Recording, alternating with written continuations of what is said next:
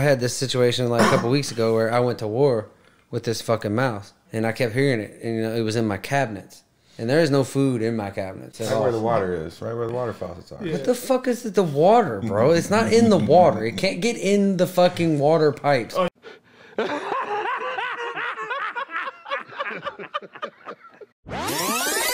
What the fuck is it? The water, bro? It's not in the water. It can't get in the fucking water pipes. Oh, you're blaming the water? He thinks it's in there swimming in the because it's oh, it's like nesting in his, underneath us. in a pipe. It, it got in a pipe and now it just go freely in and out Drinking of the a pipe water. and there's no water oh. drains.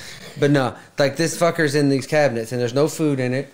There's nothing in there, dog. And like I went to Kroger and got fucking I went and got the traps, bro. Like everything. The real traps, the the the old mouse traps, the fucking the sticky glue ones, everything. Put them all these traps everywhere. And dude, that night, boom, heard it. Got him.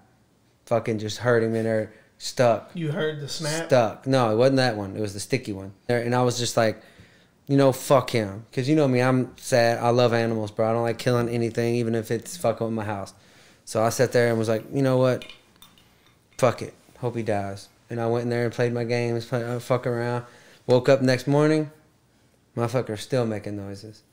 Like crying, like Yeah, screaming I've heard mice do that before. bro. I, and I I went and opened it up the first time I looked in there.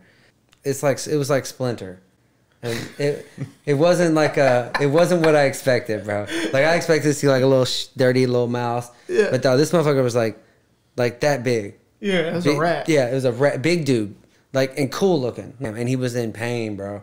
So I started almost crying. Oh my So like god. I'm fucking sad. So then I'm sitting here googling online how to free a mouse from a fucking. Are glue- you serious? So yeah, so I sit here, look this all up. So I grab him with my hand, and he's right here. He understood, I think, that I was trying to either help him or kill him. This one of the last chance. Yeah, so I grabbed him, took him outside on my porch, and then I poured this olive oil all over him, like over his legs, everything, dog, to where he could like get look out. And then like I went back inside for like five ten minutes, came back out, motherfucker was gone. Are you serious? Yeah, I saved him, bro. Oh he my just, god. he just ran back down in Yeah, the basement, straight right back But no, up the. hey, I haven't heard him since, bro. I think he understood Like- that pick another house, bro. Like that limp will tell you that, to not fuck with my house ever again, bro. But it made me feel so bad, bro, Would that I had to rat get out save him, bro. alive? I had to save him, bro. Couldn't kill him.